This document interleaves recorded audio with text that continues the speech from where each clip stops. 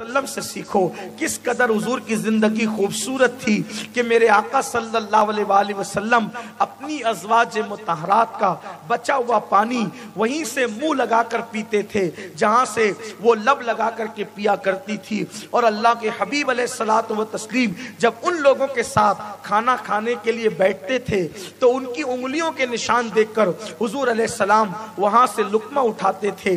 آپ غور کریں، اللہ اکبر ہم اپنا بچا ہوا پانی اپنی بیوی کو تو پلا دیتے ہیں، لیکن اس کا بچا ہوا پانی پینے میں ہم اپنی توہین سمجھتے ہیں۔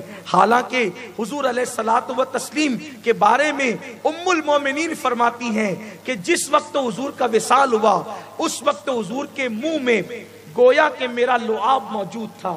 اس شکل میں کہ حضور علیہ السلام آخری وقت مسواک کرنا چاہتے تھے۔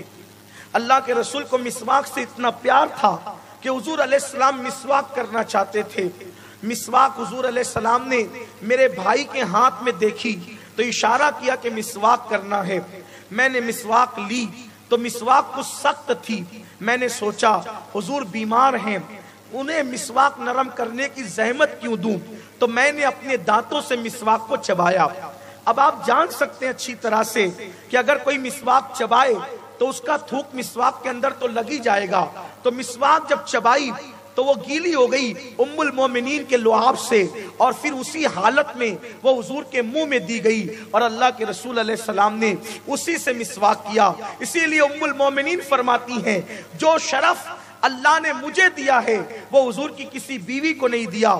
ایک تو یہ کہ حضور کا جس وقت وصال ہوا، حضور کا سر میری گود میں موجود تھا۔ دوسری بات یہ کہ میرا لعاب حضور کے لعاب سے ملا ہوا تھا۔ اور تیسری بات یہ کہ حضور اس دن دنیا سے تشریف لے گئے جو میری باری کا دن تھا اور حضور کا وصال میرے گھر کے اندر ہوا، یہ شرف مجھے ملا ہے اور حضور کی کسی بیوی کو نصیب نہیں ہوا۔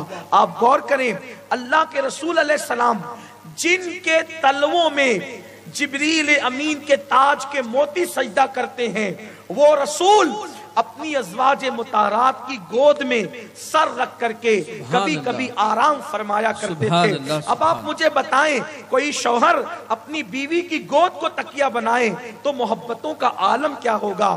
ہم نے تو عورتوں کو ٹیشو سمجھ رکھا ہے۔ جب پسینہ آیا ٹیشو نکالا پوچا اور پھینک دیا۔ یہ آج مردوں کا حال ہو گیا ہے۔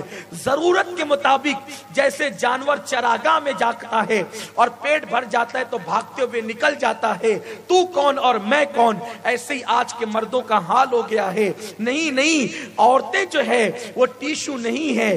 عورتیں یوز کر کے پھینک دینے کی چیز نہیں ہے، بلکہ قرآن ان کے بارے میں کہتا ہے۔ لِتَسْكُنُوا إِلَيْهَا۔ اللہ نے تمہاری عورتوں کو تمہارے لیے سکون کا ذریعہ بنایا ہے، تمہارے لیے چین کا ذریعہ بنایا ہے، تمہارے لیے اطمینان کا ذریعہ بنایا ہے۔